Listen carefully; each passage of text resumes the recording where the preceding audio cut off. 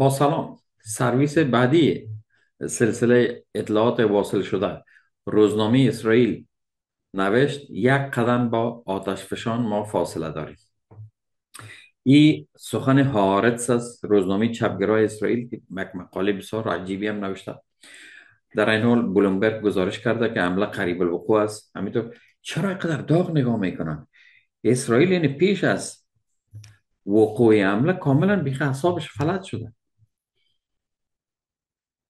خب در جنگ تبلیغاتی و رسانی خب امتی یک چیز اتفاق میفته بازم اسرائیلیا نخبگان اسرائیل کسایی که سرش وطنشان میارزن میگن دموکراسی منحرف اسرائیل جنگ خانگی میاره که علاماتش دیده میشه. خب از بلومبرگ آغاز می‌کنیم که میگه گمانوزنی مقامات اسرائیلی است که حمله قریب الوقوع است. تایمز اسرائیل گزارش کرد. در صورت وقوع جنگ با ازبلا چندین روز آب و برق قطع می شود بله جنگ مصیبت است. و شاید قطع شدن خطوط تلفن ثابت و ارتباطات سیار هم خواهیم بود. العربیه به نقل از رسانه اسرائیلی گزارش کرد که حمله مورد انتظار ایران از حاشیه غرب ایران آغاز خواهد شد. که بیشتر در برنامه قبلی یادآور شدیم که جی پی هم در غرب ایران مختل شده است. شهردار اورشلیم در اعلامیه گفته است که تمامی اسرائیلیا پناهگاه ها خود باید تمیز بکنن آماده استفاده و محض حمله ایران باید طی 90 ثانیه یعنی یک نیم دقیقه به پناهگاه ها بخزند. روزنامه انگلیسی تایمز گزارش کرده که ازبلا حال نسخه ارزان بازدارندگی هسته‌ای را دارد. او چی است؟ هزاران موشک دوربرد. یعنی باز... واقعا بازدارندگی هسته است. در برابر اسرائیل. اگر ازبلا همه موشک ها را به صورت فوری شلیک بکنه پدافند هوایی اسرائیل از کار میفتن ایره روزنامه تایمز انگلستان میگه. خب ازبلا موشک های هم در اختیار داره که می‌تونه مراکز جمعیتی یعنی پرنفوس و زیرساخت های شمال سرزمین های اشغالی را به شمول تلوی و حیفا را نابود بکند. و مو خاطر با تمام قد استاد است و اسرائیل در ده ماه هیچ جرات نکرد که حمله زمینی را انجام بده. مگر حال وقتش رسیده است. حزبالله لبنان مقر لشکر 91 ارتش با پهپاد سنگین هدف قرار دادن خب رسانه های اسرائیل گفته بر دولت خود که اگر اینا پاسخ نیست پس پاسخ اصلی حزب چی رقم است؟ چی است؟ اگر این پاسخ نیست. این پاسخ اصلی چی خواهد بود؟ بعضی رسانه های ابری ادعا کردن که موشک پدافندی خود اسرائیل به این پایگاه اصابت کرده. یعنی موشک پدافندی بالا شده منحرف شده پایگاه را زده. به اثر سقوط پهپاد در آیلت هشاهر صدمات جدی وارد شده است. ای در داخل اسرائیل. که هنوز کارزار هنوز شروع نشده است. روزنامه چپگرای هارتس منبع بسیار مهمی است در شهر و تحلیل وضعیت واقعی اسرائیل. و باور این روزنامه ناتانیاهو به جنگ نیاز داره بله ادامه حکومت هدف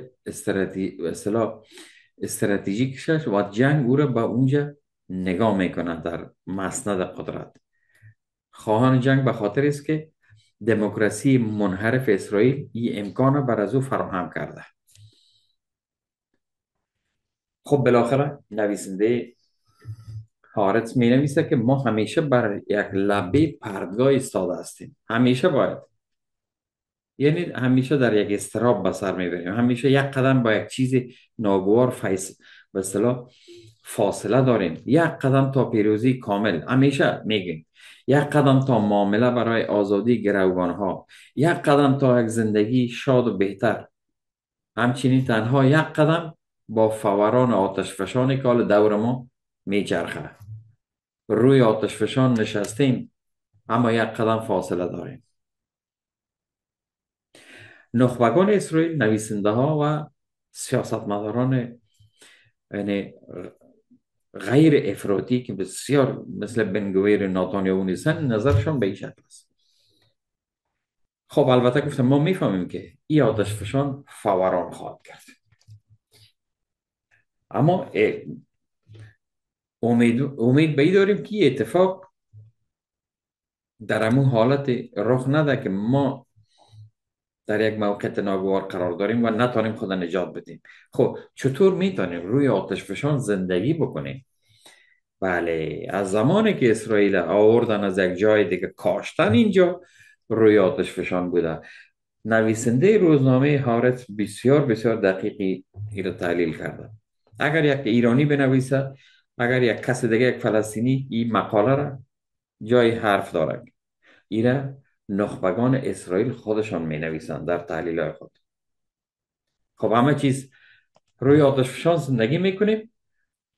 اما خود حکومت بر پای سرکوب و انکار استوار است شش دقیقه سرکوب می‌کنه و انکار می‌کنه از همه چیز. اسرائیل شدیدن احتمال انکار می‌کنه که در پایان جنگ در خارج مثلا پایان جنگ اسرائیل با حزب الله با ایران یا با یمن جنگ از درون آغاز میشه. یعنی دو نوع جنگ در اسرائیل آل محتمل الوقوع است. جنگ اول خوب جریان داره جنگ دومش که جنگ از درون آغاز میشه متعاقب جنگ اول است. اولین بار است که نویسنده روزنامه حارسی موضوع رو مطرح کرده گفته رفتن از یک جنگ که برای بقا است با جنگ بقا در درون با هم جنگیدن دیگه خوشایند نیست تبایی است. خب از این پس چی است؟ مقدمه هر چیز هرج و مرج است. قانونگذاران شورش می‌کنن. پلیس مردم مورد ضرب و شتم قرار می خواهد داد. توده ها وحشی خواهند شد. بنیامین ناتانیاهو امو رقم خودش در رأس اینمی شورش است. در اینمی رأس امی به فقدان موازن است. به خاطر از که در 2023 اعلام جنگی جنگ داخلی کرد. همه را کشید کابینه جنگ منحل کردن و فقط خودش مانده چرا؟ خودش به جنگ نیاز دارد. چرا؟ هر جنگی که میشه در اسرائیل در سطح داخلی و در سطح داخلی و معنای ادامه حکومت ناتانیاهو است و استراتژی امین است. جنگ او را در اونجا چی می‌کنه؟ نگه میداره. این جنگ همچنان کمیسیون تحقیق که در باری از آدم بسیار کمیسیون ها تشکیل شده. حتی در سطح دادگاه بینالمللی لاها مورد زیر تعقیب است. اونا را کلش به تعویق می اندازه انتخابات را به تعویق می اندازه و رشوه و محاکمات. به تمام اعتماد از بین می‌بره. چرا؟ ناتانیاهو جنگ می‌خواد دموکراسی منحرف امکان برش داده. ناتانیاهو بنگویر مثلا در یک خط هستن. مردمان با اونها هست کسانی که مثل خودشان هستن. و کسانی که مثل خود از اینا هستن اونا نمی‌فهمند دموکراسی چیست. چرا نمی‌فهمند مگر اسرائیل بسیار جامعه متمدن قلمداد نمیشه؟ چرا نمی‌فهمه دموکراسی چیست؟ نه؟ بر از اونا علتش است که دموکراسی هرگز به اونا آموزش داده نشده. آنچه که از خط کتاب براشون داده شده از افراطیت او دموکراسی نیست. اونا نمی‌فهمند که اعتراض غیر خشونت آمیز قانونی است. و به خاطر سرکوب می‌کنن. خود حکومت. و نفوذ به یک پایگاه نظامی قانونی نیست. اینی می اینی میگه نمی‌فهمم دموکراسی از نظر مردم تنها دو کلمه است. حکومت اکثریت خواهی اکثریت. کی از دیگه؟ همون شهرک نشینا. که دموکراسی و ناسیونالیست های فوق مذهبی را گرد هم میاره و اینا را به همین نام تحقیر می‌کنه به نام دموکراسی.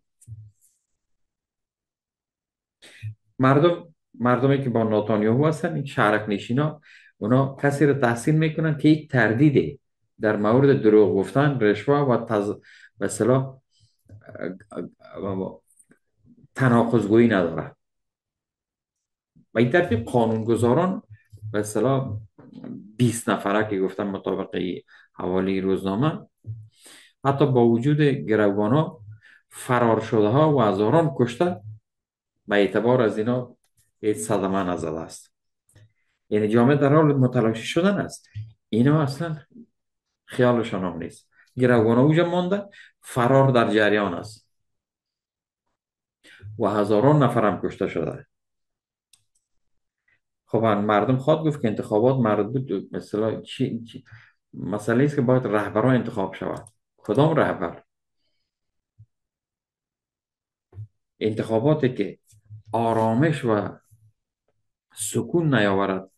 مگر چرا کسی باید انتخاب شود خب برحال ناتان... منظور ناتانیو است که این آدم به تخریب خود ادامه میده از موقعیت نهادی خود از یک نهاد دولتی به طرف فردیت در حال گام زدن است. ابتدا به استقلال دادگاه ها تشر زد بعد از او به آزادی مطبوعات و حال نوبت حقوق افراد است. خب نتیجه؟ روزنامه هارتس نتیجه شی است. جنگ خواهد شد. همین بخیلان میگه ما ابزار برای جلوگیری از انحطاط و درگیری های لفظی و فیزیکی نداریم. اینا آمده نیست و آمده. این مسابقه نابرابر هم نابرابر است. برابر هم نیست. یک طرف دولت است یک طرف مردم است. سر و تای قضیه روشن نیست. مردم می‌خوان با, تحریک امینو مثلا میگن که بیروت ما باید به آتش بکشیم. پایتخت لبنان ما باید تهران تکه تکه بکنیم و همه را به دخالت در امر مثلا متهمم می‌کنم. خب چرا تو هست؟ به خاطر از یک مردم طوری تربیت شدن که فکر می‌کنن.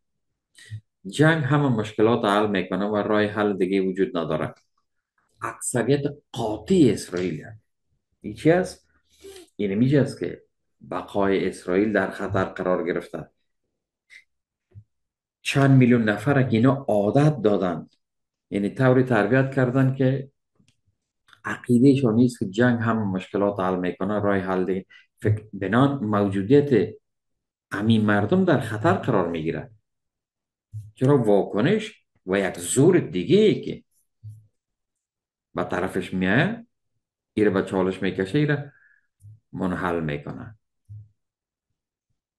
حالا یه آدم میگه که افرادی که مردم امیر رقم عادت دادن سرشان به جای ریاضی و انگلیسی پر از غرور ملی میهن پرستی سعیونیسی میگه دولت قوی است؟ چی میگه مردم ضعیف است فقیر هستن. مشکلی نیست. ضعف مردم باعث نظم و انضباط حکومت میشه. از برای خود این فکر ببینید. آموزش های وحشتناک. چی برای کسایی که شهرک نشین است از هر دیگه دنیا میارن از دیگه کشورها برای از آموزش های وحشتناک میتن. شغل های میتن که مثلا فلاکت بار شغل به هر شکل وظیفه بر از اونا میتن شغل بر از اونا. مسکنه که برش میتن و ارزان قرض میتن. نه شهرک نشینیز بین نه اپارتمان بگیر. یعنی پولش بسیار کم.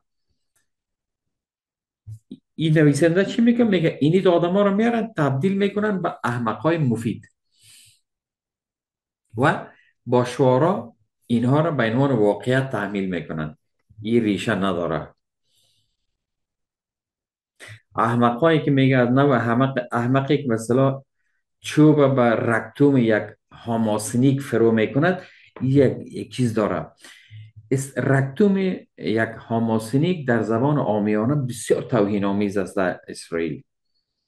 و یک شخص معمولا به گروه طرفدارای حماس اطلاق میشه. یعنی به اصطلاح رکتوم بخش انتهایی روده بزرگ میگه. یعنی بسیار یک, فحش است. میگه مردم عادت دادن که به اصطلاح وظیفهشان به اصطلاح به رکتوم یک هماسنیک چوب فرو بکنه اسماعیل هنیه را بکشه بدون که به گروگان های غضب فکر بکنه. اینی رقم. شما با این مردم به کجا می‌رسند؟ براستی یک تحلیلی بود که من هرگز از یک نویسنده اسرائیلی نخوانده بود. میگه ناتانیو می‌فهمد چگونه از عصبانیت این مردم به نفع شخصی خود استفاده بکنه و او رو بگوید که یک دستاورد ملی میگن دیگه. در جنگ داخلی که فقط یک قدم با او فاصله داریم امتون می نویسد مردم به اصطلاح در نقش کماندوهای مشاغل کثیف ظاهر میشن. و این نمی‌فهمن که چرا می رقم بار آمده روان میشن تا تظاهر کننده را زیر پای خود بکنن و گروگانا را نفرین بکنن. واضح از کسی که اونا رو میفرسته ملاحظات خود داره. کسی که اونا رو میفرسته میگه کاری که تظاهر کننده و معترضین می‌کنن رای ما نیست. با تظاهر کننده میگه که آه این کاری که حق شما کرد ما نمی‌خواستیم. اما به طرف کسایی که این کار کرده چشمک می‌زنن. میگه کار تا بکن. عجب از جامعه را ایره به این شکل تصویر میده. مردم ضعیف فقیر وابسته و هنوز ترسناک نگاه می‌کنن. ترسناک هستن به خاطر از یک اکثریت هستن. یعنی اکثریت منظور چیست که اکثریتش به میاد به اینمی عقیده افراطیت اینا بار آمدن. کسایی که نمایندهشان وزیر دفاع و وزیر آموزش و پرورش است و بنگویر هست یعنی چی, چی, چی بوده می‌تونه این مقاله هارتز روزنامه چپگرای اسرائیل بود. و یک چیز میگه میگه پنج سال بعد یک زمانی اینها در برنامه تلویزیونی دقیقی اعتراف خواهند کرد که ما ترسوهای رقت انگیزی بودیم.